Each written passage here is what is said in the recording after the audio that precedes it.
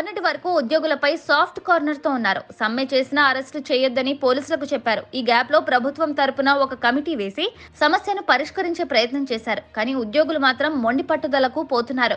ప్రభుత్వ వాదనను అస్సలు పట్టించుకోవడం లేదు. మరోవైపు వేతనాల ప్రాసెస్కు కూడా కొంతమంది నిరాకరించడంతో జగన్ ఆగ్రహం వ్యక్తం చేస్తున్నారు. కరోనా వల్ల రాష్ట్ర ఆదాయం పూర్తిగా పడిపోయింది. ఆర్థిక పరిస్థితి అంతంత మాత్రంగానే ఉంది. అయినప్పటికీ ఇచ్చిన మాటకు కట్టుబడి జగన్ ఉద్యోగుల కోసం చేయాల్సిందంతా చేశారు.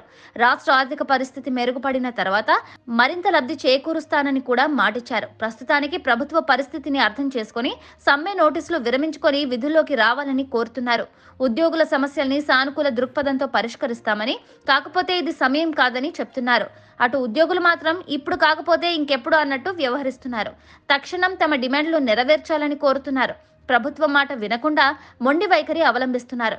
ఇప్పటికే సహాయ నిరాకరణ మొదలుపెట్టారు. ఆరవ తేదీ అర్ధరాత్రి నుంచి పూర్తి స్థాయిలో సమ్మెలోకి వెళ్ళేందుకు సన్నద్ధమవుతున్నారు. ఉద్యోగుల డిమాండ్లను చాలా వరకు తీర్చామని ప్రభుత్వం చెప్తోంది. అయితే ఉద్యోగులు మాత్రం ఈ విషయాన్ని అంగీకరించడం లేదు. తమ న్యాయమైన డిమాండ్లను తీర్చకుండా పైపెచ్చు జీతాల్లో కోత విధించిందని చెప్తున్నారు. కొత్త పీఆర్సీ జీవోను తక్షణం వెనక్కు తీసుకోవాలని డిమాండ్ చేస్తున్నారు. ఆ తర్వాతే చర్చలకు వస్తామంటున్నారు.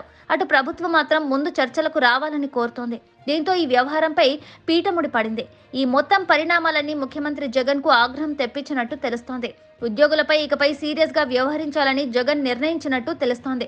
అవసరమైతే ఎస్మా ప్రయోగానికి కూడా వెనకాడొద్దని ఆయన చూచాయిగా సమాచారం ఇచ్చినట్టు తెలుస్తోంది.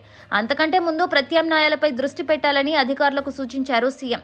ప్రభుత్వం ప్రత్యామ్నాయాలు చూస్తోందంటే దాని అర్థం ఉద్యోగులపై ఆగ్రహంతో ఉన్నట్టే. ప్రజల్ని ఇబ్బంది పెట్టే ఏ ఒక్క అంశాన్ని ముఖ్యమంత్రి జగన్ ఉపేక్షించరు. అది ఉద్యోగుల సమ్మె అయినప్పటికీ ఆయన చూస్తూ ఊరుకోరు. ఇన్నాళ్ళు బుజ్జగింపులు చేశారు. ఇప్పుడు తన కోపాన్ని చూపించబోతున్నారని సమాచారం.